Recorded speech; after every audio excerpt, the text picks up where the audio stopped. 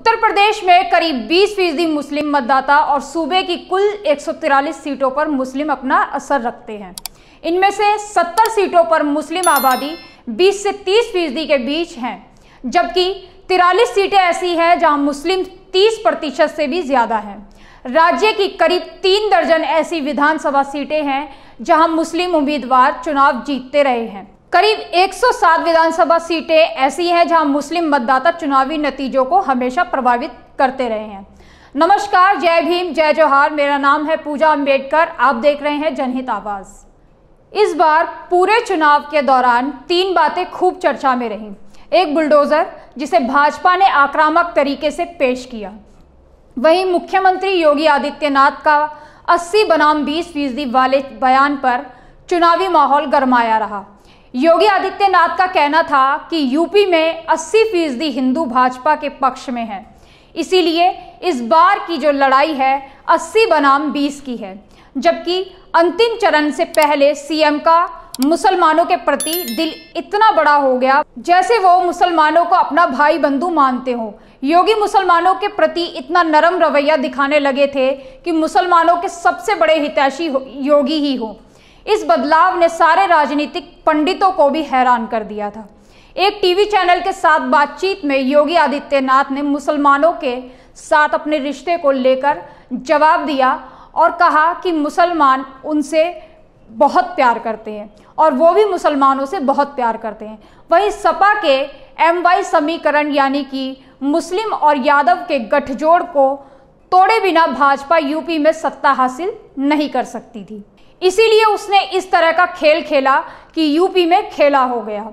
भाजपा अपने हिंदुत्व चेहरे के कारण ही हिंदू वोट बैंक को अपनी ओर खींचने में कामयाब रही। वहीं मुस्लिम वोट की बात करें तो मुस्लिम वोट में भी भाजपा ने सेंध मारी। उदाहरण के तौर पर अगर हम पश्चिमी यूपी को देखें, जहाँ भाजपा को 2017 से पहले कोई खास बढ़त नहीं थी लेकिन 2017 में मुजफ्फरनगर दंगे के बाद यहाँ के वोट बैंक का समीकरण पिछले चुनाव से बदल गया। इस बार भी सभी की निगाहें मुस्लिम बहुल सीटों पर रहीं। 2017 के चुनाव में इससे भी ज़्यादा चौंकाने वाली बात यह थी कि भाजपा ने मुस्लिम बहुल क्षेत्रों या सीटों पर जीत हासिल की थी, जिसकी किसी ने उम्मीद भी नहीं की थी। भाजपा ने बयासी में से बासठ ऐसी सीटों पर जीत हासिल की जहाँ मुस्लिम वोटरों की आबादी एक तिहाई है। देश में मुस्लिमों की आबादी 20 करोड़ से ज़्यादा है और लोकसभा में 27 मुस्लिम सांसद हैं। वहीं 20 करोड़ से ज़्यादा आबादी वाले यूपी में 4 करोड़ से ज़्यादा मुस्लिम हैं। इस बार के विधानसभा चुनाव में बीजेपी ने यूपी में एक भी मुस्लिम उम्मीदवार को नहीं उतारा। इससे ही मालूम होता है कि भाजपा हमेशा से मुस्लिम विरोधी रही है। अब सवाल ये उठता है कि बीजेपी मुस्लिम को टिकट क्यों नहीं देती? इस सवाल के जवाब में केंद्रीय गृह मंत्री अमित शाह ने कहा कि कौन वोट देता है यह भी देखना पड़ता है। यह राजनीतिक शिष्टाचार है। एक पार्टी होने के नाते चुनाव जीतना भी ज़रूरी है। अब आप इस बयान से ही अंदाज़ा लगा सकते हैं कि बीजेपी सिर्फ़ और सिर्फ़ वोट की राजनीति करती है और सत्ता में बने रहने के लिए ही झूठे दावे और वादे करती आई है। जबकि वो अपने कहे नारे सबका साथ, सबका विकास पर भी खरी नहीं उतर पाई है। और वहीं मुस्लिमों के मामले में उसकी नफरत किसी से छुपी नहीं है। आंकड़ों पर नज़र डालें तो यह पता चलता है कि 1980 से 2014 के बीच लोकसभा में मुस्लिम सांसदों की संख्या आधे से भी ज़्यादा कम हुई है। 1980 में उनचास मुस्लिम सांसद पहुँचे थे, जबकि 2014 में यह आंकड़ा 23 पर आ गया। हालाँकि 2019 में मुस्लिम सांसदों की संख्या 23 से बढ़कर 27 पहुँच गई। लेकिन ये बात आपको चौंका देगी कि इसमें एक भी सांसद बीजेपी से नहीं है। क्यों नहीं है, ये मैं आपको पहले ही बता चुकी हूँ। अब जानिए इस पूरे सिनेरियो पर आरएसएस क्या सोचता है। आरएसएस की राष्ट्रीय कार्यकारिणी के मेंबर और मुस्लिम राष्ट्रीय मंच के संरक्षक इंद्रेश कुमार का कुछ अलग ही बयान है। वो तो यह कहते हैं कि कुछ मुस्लिम नेताओं और पार्टियों ने मुसलमानों को बहलाकर और उनमें दहशत पैदा करके राष्ट्रीयता से दूर रखा। और यह भी कहा कि नेता मुस्लिमों को बीजेपी को हराने के लिए वोटिंग करवाते हैं। इसलिए बीजेपी ने सोचा कि इन्हें टिकट देने के बजाय दूसरे तरीकों से आगे लाया जाए।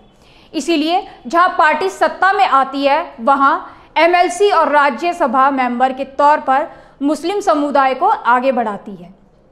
क्योंकि टिकट देने पर तो उनकी जमानत जब्त करवा दी जाती है। अब ऐसा करके क्या बीजेपी ने कुछ गलत किया? ऐसा वो कहते हैं। कितनी मासूम और बोली है भाजपा। कितना मुस्लिमों के हित में सोचती है। फिर भी मुस्लिम समुदाय के लोग जो हैं, भाजपा का प्रेम समझ ही नहीं पाते। आरएसएस के मेंबर इंद्रेश इतना ही नहीं।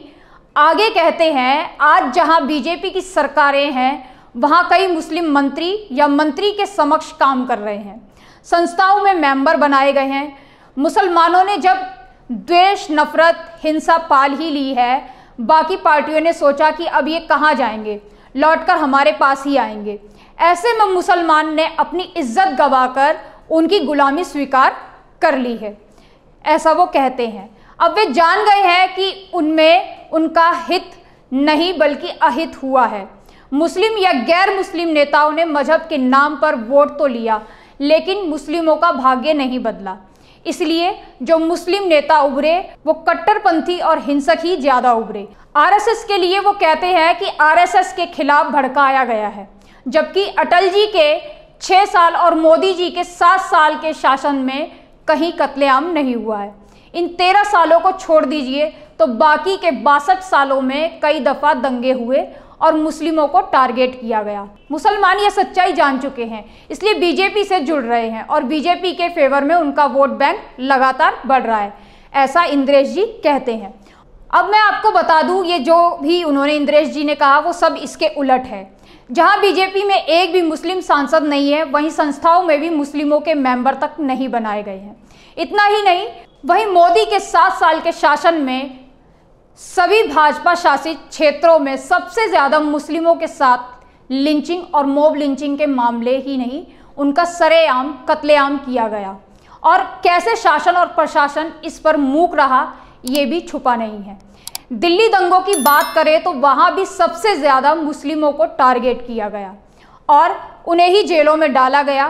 आज की सच्चाई यही है कि मुस्लिमों को डर और भय के माहौल में जीना पड़ रहा है और उन्हें वोट बैंक में तब्दील करके उनका इस्तेमाल किया जा रहा है।